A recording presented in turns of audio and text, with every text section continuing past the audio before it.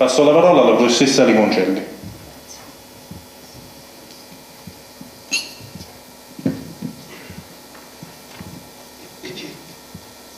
Presentare Elisa per me è veramente una cosa ardua, perché sono solo un'amica e non sono un critico letterario, mentre lei è abituata ad avere omaggi di critica letteraria veramente di grande valore. Comunque mi sento di ringraziarla per avermi dato la possibilità di presentare questo suo ultimo libro, che spero che non sia l'ultimo, che è così poi significativo, credo, per, per me, per lei, ma anche per tutta la comunità di Faicchio che lei canta, racconta in tutte le sue sfumature. Allora, ieri mentre parlavo con Elisa eh, mi è venuta fuori una frase che lei ha ritenuto bella e con la quale io devo iniziare la mia relazione. Così mi ha detto e così faccio, perché per me lei è una grande maestra.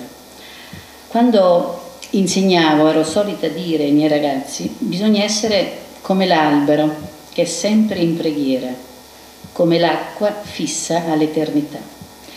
Intendevo dire che per osservare la realtà e cogliere in essa il senso della bellezza, il senso dell'armonia, occorre, oltre allo sguardo, una disposizione interiore simile a quella di Elisa. Io ti chiamo Elisa ogni tanto, tu mi perdonerai. Occorre, dicevo, oltre allo sguardo, una, una disposizione interiore simile a quella di Elisa, che con la sua poesia invita al silenzio, al raccoglimento, alla contemplazione del creato, forse per entrare più intensamente nel mistero della vita, ma anche per cercare risposte globali più appaganti.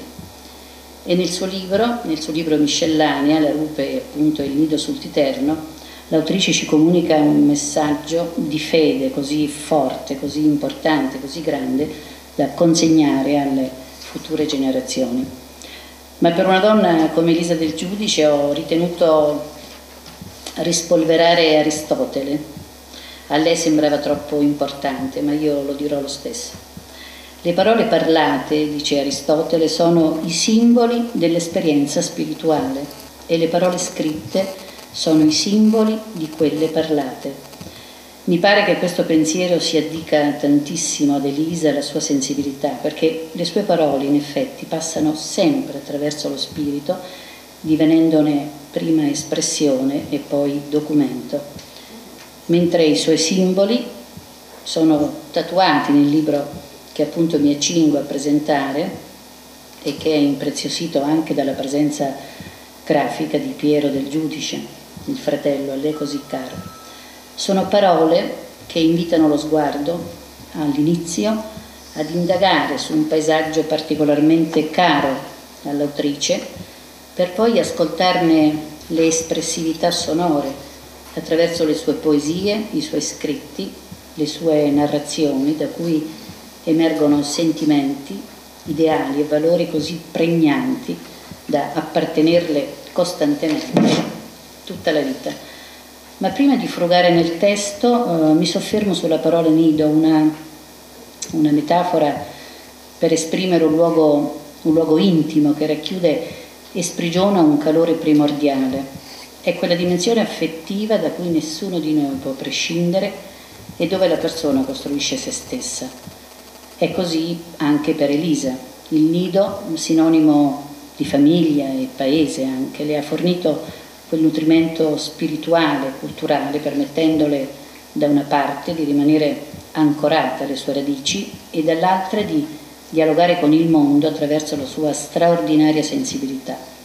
Un mondo dove costantemente hanno interagito le componenti affettive e culturali e che Lisa ha donato come persona e come insegnante sollecitando i suoi allievi verso, come lei stessa dice, itinerari sani, lontani da ideologie ingannevoli, un insegnamento alimentato da una grande fede e da un'immensa aspirazione al bene. Parole dell'autrice che esprimono la sua profonda vocazione, nutrita di quei valori laici e religiosi che condivido pienamente, tanto da poter dire quasi per Celia di entrare nelle sue scarpette, anche se sono molto più piccole delle mie. È la traduzione appunto letterale di una frase inglese per capire ed esprimere il concetto di empatia, la capacità di porsi in maniera immediata nello stato d'animo di un'altra persona attraverso le cosiddette affinità elettive, attraverso, dico, aggiungo, lo stesso modo di, di intendere, di sentire le cose, a prescindere dall'età anagrafica. E questa alchimia tra me e Elisa è riuscita e per questo le sono molto grata. Il libro che ella dedica, il libro che ella dedica alla famiglia e ai suoi affetti più profondi, mm, pur essendo diviso in sezioni, ha una sua unitarietà e invita il lettore a rimanere aderente alla pagina perché ogni volta si ritrovano Elisa persona ed Elisa scrittrice, un binomio non scindibile in tutta la sua compiutezza, ma io aggiungerei anche in tutta la sua autorevolezza. Un'autrice fortemente ancorata a valori nitidi, solidi, che conservano le impronte della sua formazione classico-umanistica. Valori che ho chiamato senza tempo, necessari, io credo, per dare un senso al nostro cammino, per trovare quiete dentro se stessi e attraverso questa donare poi fiducia e speranza. Quindi un movimento circolare che si nutre di infinito e un viatico per approdare ad una visione dell'amore intesa proprio come autentica ascesa conoscitiva verso l'idea del bene e del bello, l'idea che appunto Elisa ha dell'amore e che nella poesia trasformazioni diventa, diventa proprio lezione e scrittura, invitando l'uomo di oggi, così scollato dall'esercizio virtuoso, a divenire, uso le parole dell'autrice, creatura alata che si nutre di libertà e di polline come il bruco che, spinto da un'intima forza, incontra la sua pienezza di vita nella tensione dell'opposto. Un credo insistente che diventa preghiera in notte di Natale, un'altra poesia di Elisa, dove chiede a Cristo bambino di accendere i cuori di ideali e di sogni che attingano al suo essere infinito. E diventa una richiesta incisiva affinché la formula augurale Buon Natale, anche questo titolo di una sua poesia, sia pronunciata solo se ad ogni passo della vostra vita voi vi impegnate perché il messaggio della notte santa sparga sul mondo tanto, tanto amore. Può sembrare in una situazione storica così complessa come quella che stiamo vivendo un anelito senza riscontro, ma sono invece espressioni poetiche forti, energiche, vitali, nelle quali l'autrice vuole credere e spinge ognuno di noi a crederci. Perché è proprio nei momenti chiave della nostra storia personale e collettiva che è necessario ritornare alle radici, alle origini e attingere alla sapienza custodita nelle radici. Elisa ce lo insegna e lo sentenzia. Bisogna conoscere le radici, amarle, difenderle, è stato questo un ideale per molti di noi che tramontiamo. Nella segreta speranza di non essere delusi, lo affidiamo con trepidante amore alle generazioni che verranno. E per farlo io credo occorra lasciarti sor- lasciarsi sorprendere dalla verità che abita da sempre dentro di noi e lasciarle spazio. Quindi è l'auspicio che l'uomo recuperi un cuore nuovo, come aveva affermato Giovanni Paolo II in occasione del messaggio per la diciassettesima giornata mondiale della pace, era l'8-12-1983, e aggiungo io un cuore virtuoso che sappia compiere delle scelte più consapevoli in sintonia con le parole dell'autrice. E senza questo cuore, in effetti, la realtà appare uno scenario muto. Ma Elisa non cede mai allo sconforto, neppure quando la memoria si apre su scenari a lei particolarmente cari e struggenti. Le viene in soccorso un timbro poetico, velato sì di malinconia, ma capace di recuperare l'incanto e l'illibatezza di immagini che il tempo non ha minimamente sfiorato, dilatandone la durata e l'intensità. A dimostrare che la poesia nasce da un atto d'amore verso la realtà ed è ad un tempo aperta alla speranza, perché solo se c'è una speranza che qualche cosa duri ed abbia a valicare le curve del futuro, si ha l'atto poetico. Quella della, di Elisa del Giudice è una parola che dà vita ed esprime valori. È il canto dell'esistenza, pervaso da una profonda spiritualità, è l'espressione che rappresenta l'umano nelle pieghe intime del suo animo. In divagazioni e bozzetti, nella seconda parte del libro, l'autrice si lascia ancora prendere per mano dalla sua memoria emotiva, offrendoci pagine intense dove ella rivive le certezze dei suoi affetti e il legame indissolubile alla sua terra, oltre che i colori della sua terra, legati anche all'alternarsi delle stagioni. Sostenuta poi dal gusto della penetrazione minuta dello sguardo, incontra in un racconto bellissimo che si intitola Orchestra Verde, mi pare Lisa, un filo d'erba sognante nell'attesa del suo destino, un filo d'erba che mm, chiaramente trascende il suo significato letterale, ma non paga, continua a spaziare nella bellezza del creato, dove, dice lei, due consistenze dissimili ne rappresentano gli estremi, le apparizioni estreme la montagna e il mare, il titolo di un altro racconto bellissimo che nella contemplazione poi dell'universo riescono ad amarsi al di là del tempo e dello spazio. L'incontro è narrato con suggestione e ritmo musicale, vista e udito sono mescolati insieme a ricreare le forme semoventi, gli scintilli colorati, le sonorità del mare sospinto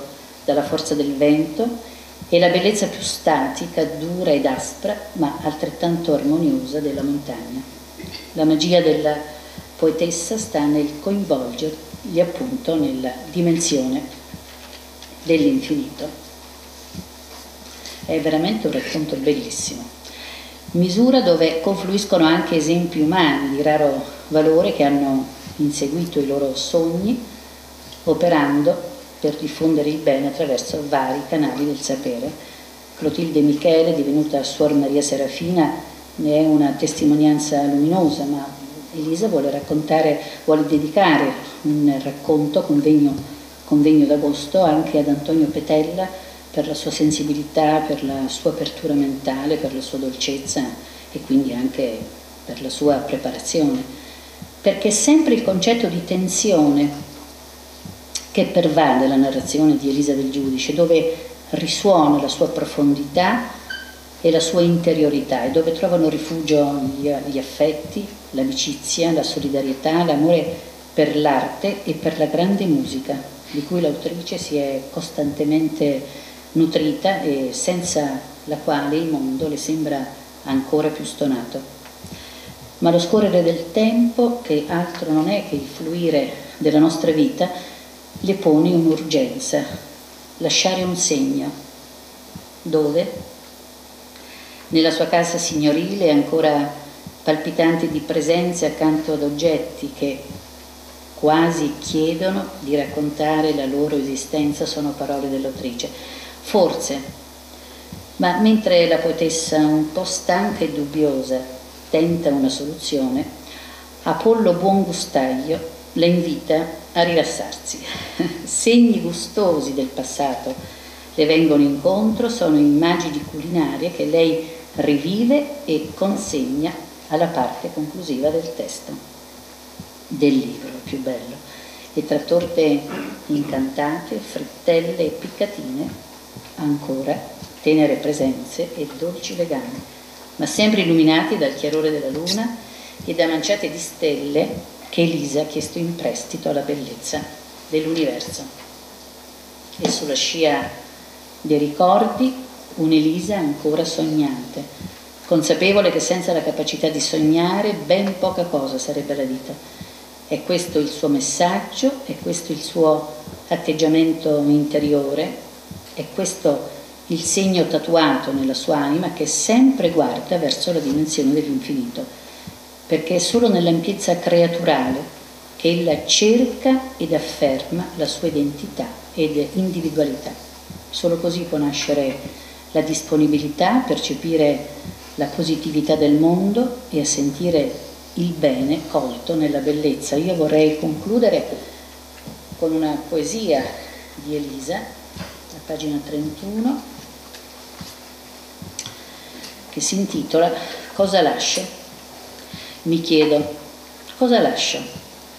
Questo mucchietto d'ossa è quasi un nulla, ma se tu volgi intorno il tuo sguardo indagante, tra l'albe fredde e i fremiti d'aprile, nei meriggi infocati o dentro il vento, foriero dell'autunno, o nel fulgore del sole tutto d'oro, forse tu scorgerai frammenti del mio sogno, quali farfalle fragili, vaganti sopra i fiori, o come bianche ali di cigno, palpitanti su un fiume chiaro, avido di azzurro.